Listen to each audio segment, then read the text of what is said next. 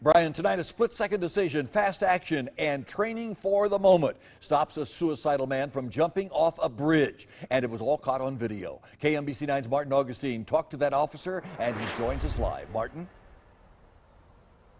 Larry, from where I am, you have a great view of all these bridges back here. This is where I-470, I-49, and I-435 all come together in the southeast corner of Kansas City. Some of those bridges quite high, upwards of 60 feet above the ground, and it was up there where the real-life drama you're about to see played out. Kansas City Police Sergeant Steven Griswold is seen here in this police dashboard camera video approaching a man who says he's going to commit suicide by jumping. He's on I-470 and he's 60 feet above I-40 uh, I-49, so he is serious.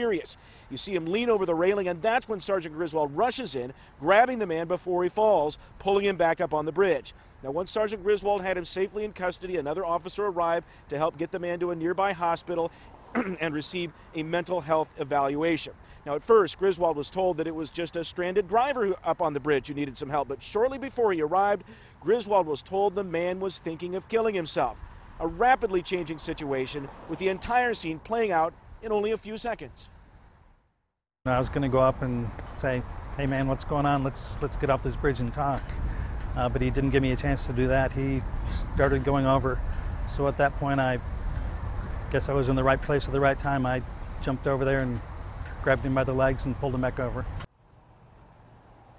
Sergeant Griswold says he actually feels a little bit silly getting all of this attention. He says what he did was, was over very quickly. Everything was based on training that he's done over and over again, and then he was on to the next assignment. He says there were far more uh, Kansas City police officers uh, taking on far more complex situations than that uh, all across uh, Kansas City early Saturday morning. Reporting live, Martin Augustine, KMBC 9 News.